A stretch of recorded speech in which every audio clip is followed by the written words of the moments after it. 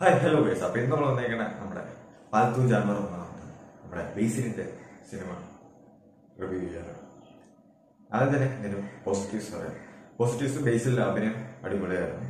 പിന്നെ സോങ്സ് ബീജംസ് ഒക്കെ ഓക്കെ ആയിരുന്നു. ബീജം കൊള്ളായിരുന്നു കുറെ കൂടെ. പിന്നെ ഒരു ഫീൽ ഗുഡ് മൂവിയാണ് സെക്കൻഡ് ഹാഫ് ഒക്കെ നല്ല എൻഗേജിങ് ആയിരുന്നു.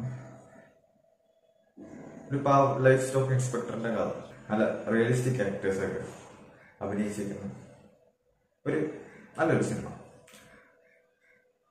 ഇനി ഇതിന്റെ നെഗറ്റീവ്സിലൊക്കെ വരികയാണെങ്കിൽ ആഹ്, ഇപ്പൊ സ്ക്രീൻ എന്ന് പറയുന്നത് നമ്മളെ യൂട്യൂബ് സൈസിന്റെ ആയിട്ട് കൊടുത്തത് സിക്സ്റ്റി ടു നയൻ ആയിട്ടാണ് കാണിച്ചത് ഇതേപോലെ ഏകദേശം ഈ രണ്ട് സൈഡിലും ഗ്യാപ്പ് വരും. അത് ഭയങ്കര വൃത്തിയാണ് പ്രത്യേക പോലെയാണ്. കാരണം തിയേറ്റർ വരുമ്പോൾ നമ്മൾ ഫുൾ സ്ക്രീനിൽ നല്ല അടിപൊളിയായിട്ട് ആസ്വദിക്കാൻ പറ്റും. അപ്പൊ ഇതേപോലത്തെ ഒരു സ്ക്രീനിൽ ഈ എന്നാത്താം കേസോട് പിന്നെ തീർപ്പ് ഈ സിനിമ പക്ഷെ കുഴപ്പമില്ല. എന്നാലും എനിക്ക് അതൊരു നെഗറ്റീവായിട്ടാണ് തോന്നിയത്. ഫുൾ സ്ക്രീനിൽ കിട്ടാൻ എന്താണ് ഇപ്പോൾ കുഴപ്പം? കോമഡി ബേസിൽ മാത്രമേ വർക്കായിട്ടുള്ളൂ ബാക്കി ആരുടെ ഹ്യൂമർ വർക്കായിട്ടില്ല അത് വെറുതെ ആയിപ്പോയതുപോലെ തോന്നി.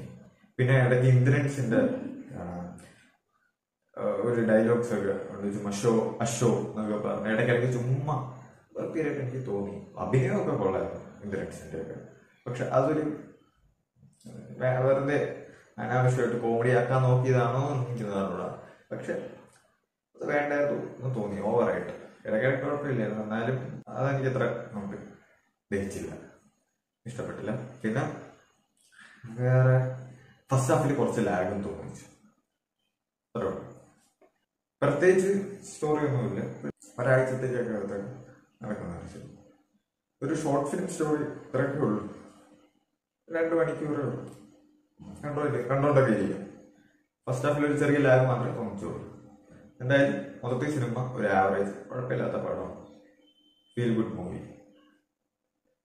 അപ്പൊ ഞാൻ പലതു ജാൻ പറഞ്ഞു കൊടുക്കുന്ന rate two point seven out of five